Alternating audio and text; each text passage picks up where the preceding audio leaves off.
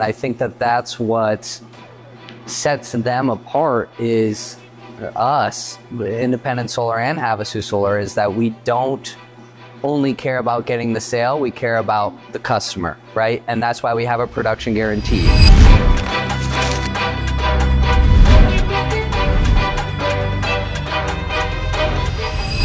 So tell me about the history of uh, Independent Solar. I mean, come on, Micah, you know that. You were our first employee. Since then, we've got a warehouse. We're running five install teams, and uh, we're running both out of Havasu and Phoenix.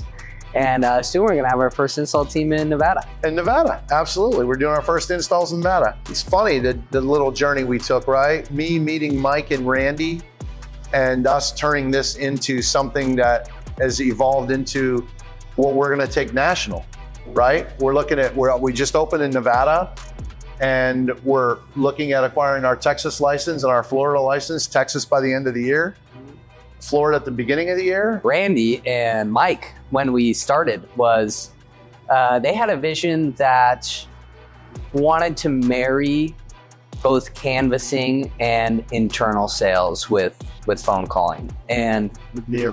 their process that they built over the last couple years has actually i think changed into what the new normal is going to be in the future for solar Say that setting, so basically breaking barriers, disrupting the solar industry, changing things around to what the new normal be. And randy's vision is definitely customer forward and i think that that's what sets them apart is us, Independent Solar and Havasu Solar, is that we don't only care about getting the sale, we care about the customer, right? And that's why we have a production guarantee, right?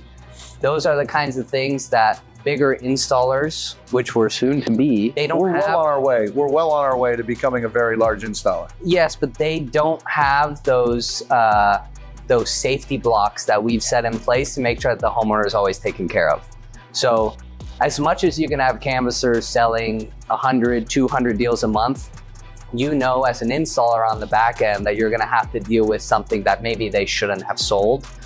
And what we're building to scale internally is a system that I think takes care of the homeowner first, and we and that allows the rest of the EPC, the the install, the project management side to to fall into place because we know exactly what we're selling when we put that deal on the roof. That's So what the customer sees initially is ultimately what the customer gets without massive change orders, without delaying the process, without delaying the install, and giving a perfect product from the start, which delays change orders, cancellations, everything. Yes, I don't need our team to send a homeowner a plan set because they already know what they're getting. exactly what they're getting. at the time of proposing.